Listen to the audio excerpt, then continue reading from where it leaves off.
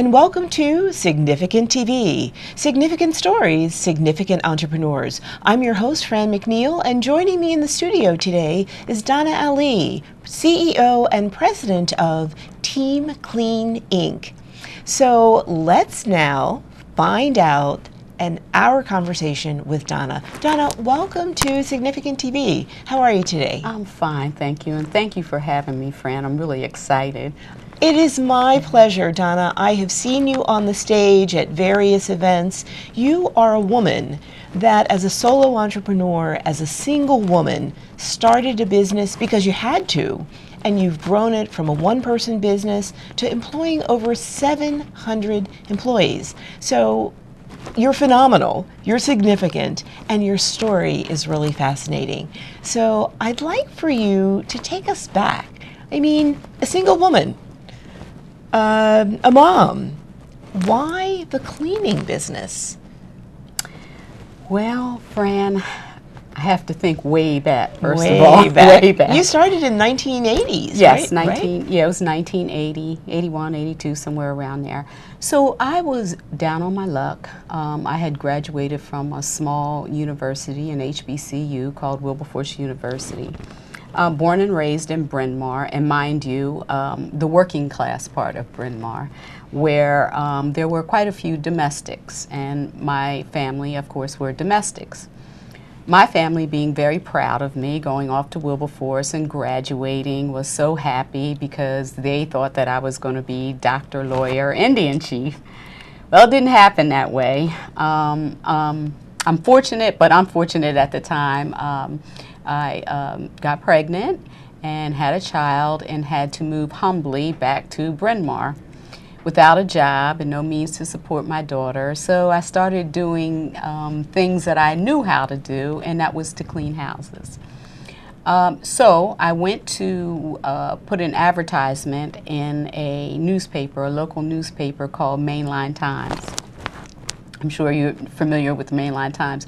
So, um, and, the, and the advertisement read, We'll clean your home. Not expecting anyone to call me, but uh, after three weeks, um, I think I got a call from a woman in Villanova who um, wanted to give me a shot. So she asked me to come up to clean her house, and I did um, the whole day, working, cooking, cleaning, polishing silver, all those things that were included in the um, domestic house trade, I would say. So um, anyway, um, she worked me for the entire day, and at the end of the day, she asked me, well, what do I owe you? And not understanding my worth, not having any money, um, depending on public assistance for many years, I didn't know what to say to her. So God rest her soul, I love this woman. And she said to me, well, dearie, if you don't know what I should pay you, then I'll pay you what I think you should have. And for eight hours of work, she literally went into her pocketbook, her little purse, and gave me a $10 bill. So at the end of the day, of course, you know, I was um, yeah, disappointed, but I'm going to tell you, Franne, I had 10 more dollars than I had the day before. I left there, um, all sorts of things in my head, and, you know, vowed never to return again. So I went back to my house, um, apartment in, in Bryn Mawr, and um, sat around, nothing to do still, really depressed, you know, embarrassed. All my sorority sisters were principals and, you know, just, you know, living the life and poor Donna. So then I got a call from her probably about three weeks later, and she called me again. She could not say Donnie, so she said, I mean Donna, so she said Donnie. Donnie, I want you to come up, you know, try it again. So I did. I don't know what got into me, but I did. So I went back again and um, ended up the same chores. And, and, and she even hid $10 in the washing machine. You know, like the movie The Help? Have you yes, seen that I've seen The Help. Yeah. Oh she ended goodness. up. So um, anyway, so that uh, she hid the money. Of course, money was still there, and she went through the whole shebang, the whole thing, all over again. But at the end of the day, she said the same thing. She says, "Now, what do I owe you?"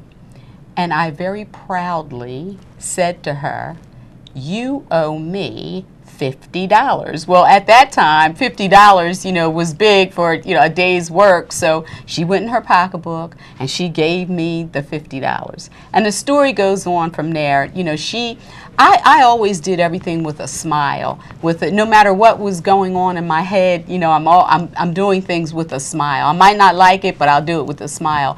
So anyway, um, she ended up telling her friends about me and her her neighbors and before you know, I think maybe in a three to five year span, we were doing about 55 houses a week. I hired women from West Africa, my dear mother, my cousins, ladies from the church in South Philly, and I didn't even know that I had a business. I was what, what we call flat foot hustling. And so I went from house to house. I drove the ladies. I picked them up. I didn't even know it was quality control, but I was doing the quality control, going through the house, making sure everything was okay, collecting the money, and then paying them at the end of the week. So I went on like that for a while, and that's how Team Clean got started. Definitely, now I see the name. there was the team. yes.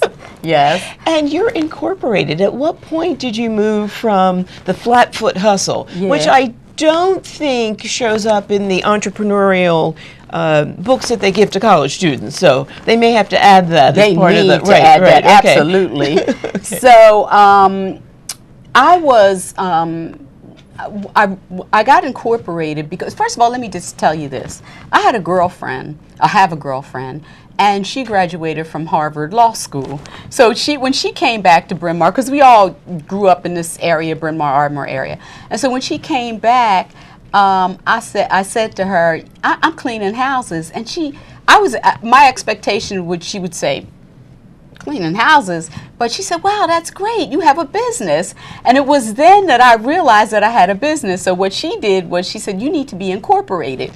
And I'm telling you, I did not take any business courses.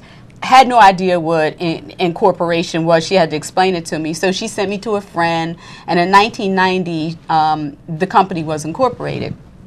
And shortly after that, and she turned me on to different or gave me ideas about registering in the uh, what was then called a Minority Business Enterprise Council. So I got registered there, and I got another break, and that was a call from a gentleman in uh, Baltimore, and he had won a contract at Veterans Stadium in Philadelphia. And um, he said, he called me one day and he said, hey, listen, Miss Allie, I see your name on this list. And I didn't even know what list he was talking about. And I have a contract in Philadelphia to clean Veteran Stadium. And I need a partner. And I need a diverse partner. And um, he said, would you like to come down and interview? Now, Franne, I knew Bryn Mawr, Wilberforce University and Bryn Mawr only. So I didn't venture into the city much, didn't know too much about stadiums or anything like that. So I found my way down there and I met with him. And he said, um, you know, hey, listen, can you clean this, I think was 60,000 seat stadium?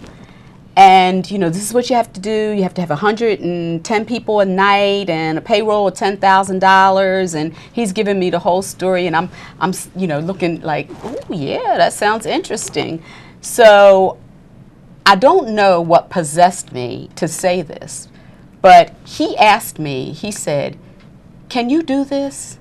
And I said, Yes, sir. I can do it. Now I'm thinking about the eight women that I have from West Africa back on the main line, my mother, my cousins, and he's talking about 110 people, you know, a night, a $10,000 payroll a week. And I said to him, Yes, I can do it. And left back, wasn't thinking about him, went on back to Bryn Mawr with my 10 ladies from West Africa, my mother, my cousins, you know, cleaning houses around the main line, and never thought about him. He called me about a month later and he said, You have the job. I was like, Oh no. but it was a good problem to have. And so I ended up staying at um, Vet Stadium, getting that contract, staying there for about uh, until implosion, as a matter of fact. And went on to, during that time, Shea Stadium in New York, um, Camden Yards, um, the Preakness, which uh, and just a number of events, City Hall, uh, the Convention Center, the Republican National Convention, the Democratic National Convention. I could go on and on and on. And so, you know, I, I could just say that my life is good. God has been good to me, and I work hard. I'm so happy. And I'm especially happy for the employees that work for Team Clean. That was going to be one of my questions. I mean, your story is phenomenal. It's, it's really awesome. And the way that you've taken the challenge and viewed it as an opportunity, as you said, with a smile. So, what are you most proud of? I mean, you've accomplished a lot in your business. I am most proud of the fact that I can create jobs. I can create jobs for what folks call the have nots, the least of these, the ones who have never had an opportunity to work, who are formerly incarcerated, and that's my passion there. Um, the new immigrants, the women, the single parents, um, a couple stories that you know I'd like to share while I'm on that track. That is that is so passionate to me. I mean, even now, you know, I'm just I'm just I'm just thinking about it and so happy and so proud. Um, just recently, we hired um, a gentleman from Aleppo. And he was a professional in his country, so he's here now working a cleaning job. He is so happy to have that job um, he works so he's so proud he's so he, he tries to do it to perfection and the other thing that i'd like to mention is that um, being able to hire formerly incarcerated puts so much joy in me because it's hard when they get out and i always say that if a man or a woman who has an who, ha, who has never had a job and gets a job, their walk is different. Their talk is different. They view life different. I don't care what kind of job it is. It just makes a difference in a person's life. And I feel good about that. So those are those are the things that make it all work for me and make it so special for me. And you are making an impact. In, in some ways, as I listen to you, you're really doing that soulful work. You're doing the work that improves not only your clients, but it impacts the community because you're caring about an individual and you're making individuals' lives better. I know that there are some women entrepreneurs watching perhaps their mompreneurs or accidental mm-hmm. entrepreneurs mm-hmm. or mm-hmm. entrepreneurs by need. What's a single lesson that briefly you'd like to leave them with as a business owner whose business has spanned over 30 years? I would like to say to them, uh, leave them with a what a gentleman said to me some years ago. Um, my mentor, who was Dan Tabas, who um, is long gone now, but owned Royal Bank, and he used to often say to me, he called me kid, but he said, kid, I'm going to tell you the secret to success. And he said, the more you put in, the more you get out. The more you put in, the more you get out. So I'd like to say to those um, mompreneurs, is that what you call yes. them? those flat-foot hustlers uh, that are, you know, um, creating a business, the more you put in, the more you get out. I think that's the key. Never give up. Never give up. Wow. Donna, thank you so much for being a guest on the show. Words of wisdom, no doubt. Words of wisdom. The more you put in, the more you get out. Significant stories, significant wisdom, and a significant entrepreneur. Donna Allie, president and founder and CEO of Team Clean Inc. You get information that helps you think about your life and others' lives differently. Watch us, Significant TV.